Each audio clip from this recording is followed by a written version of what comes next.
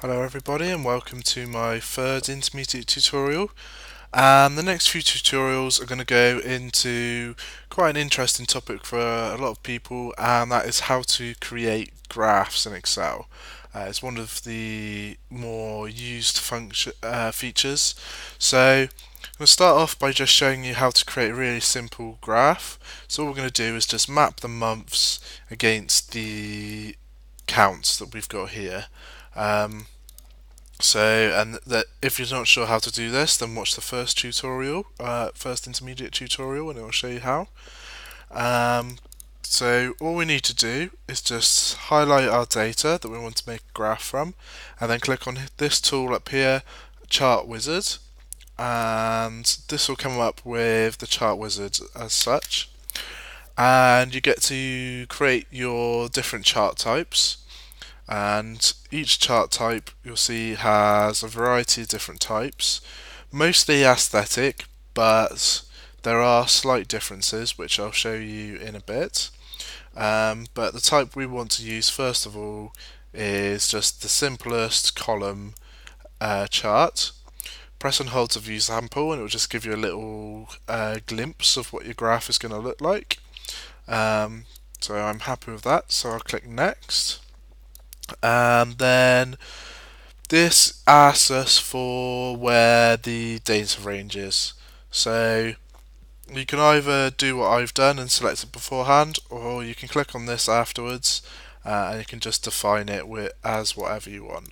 Um, and you can either do it by rows or by columns. So if we're doing it by rows, then it's actually going to go okay, my my my data's going across this way uh, and not my uh, data is going down this way.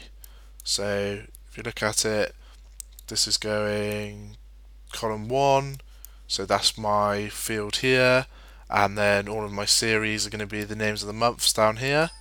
Whereas if we put columns, it goes series one, okay, there's only one column, so that's the, the only series, and then all the months along the bottom.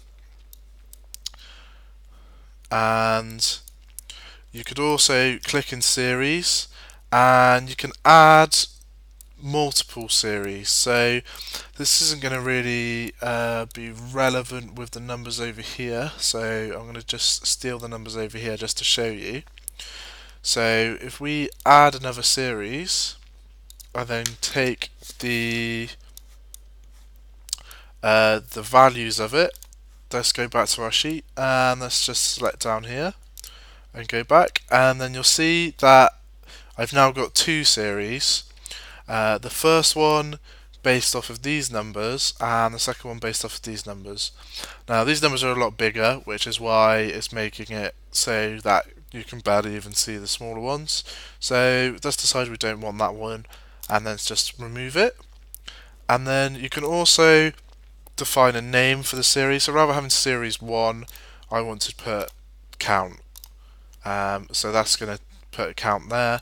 Alternatively, you can just write in the name of the series and that will have exactly the same effect. Only if you do it this way, if you change the name on the sheet, then you change the name on the on on the graph. Uh, the other thing you can change is the category labels. This has already got it set up for us, so um, it's got it as E3 to E14, so that's literally just the months here. Um, if we wanted, we could switch it to a different one quite easily. Um, but this is what I want. I want the months so I'll leave that as it is. Click next. You've then got a choice of adding various titles.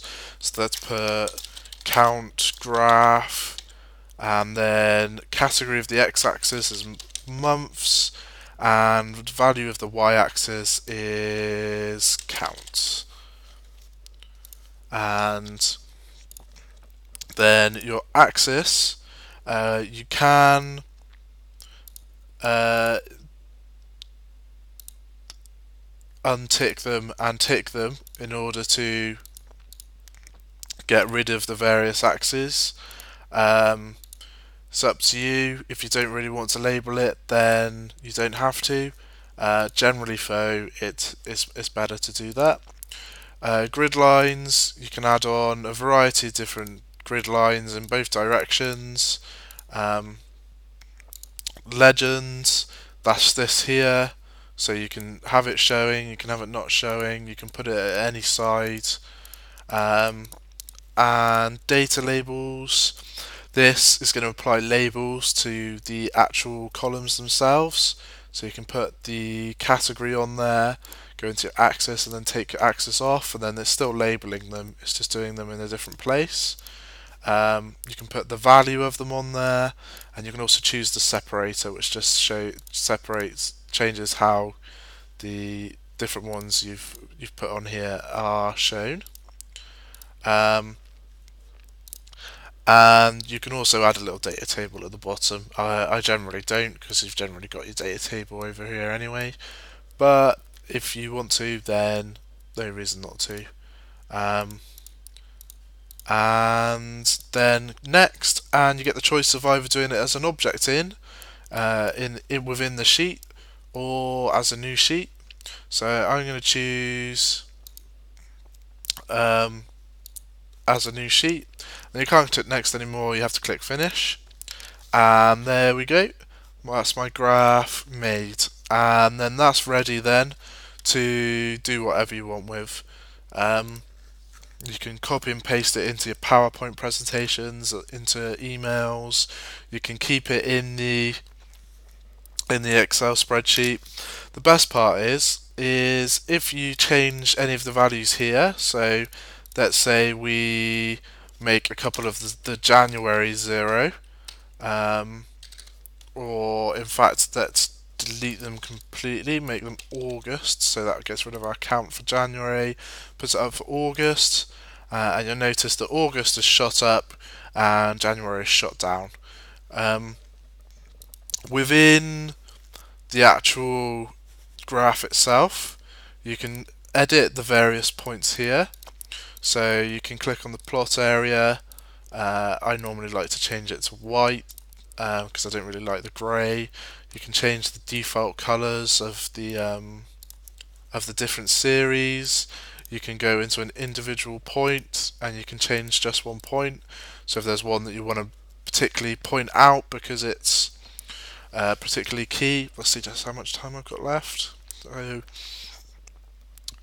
um, so you can highlight them.